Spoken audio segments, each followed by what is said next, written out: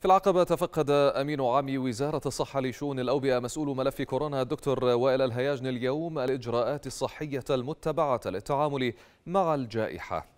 يأتي ذلك متابعة لتسجيل مئات الإصابات بفيروس كورونا بين العاملين في أحد مصانع العقبة حيث أكد الهياجن حرص الحكومة على تعزيز قدرات الجهاز الصحي لمواجهة وباء كورونا والتعامل مع أعداد الإصابات المرتفعة في مختلف المحافظات مشددا على اتخاذ الإجراءات اللازمة لرفع القدرات السريرية لمستشفيات العقبة وإسنادها للتعامل مع الجائحة.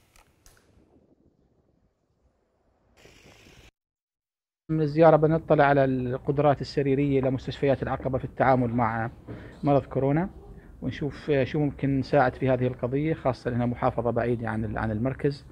وبالمجمل أيضا سنطلع على الإجراءات التي اتخذت بقضية المصنع آه، من العمال غير الأردنيين الذين أصيبوا آه، كما تعلمون في اليومين أو الثلاثة السابقة بمرض كورونا.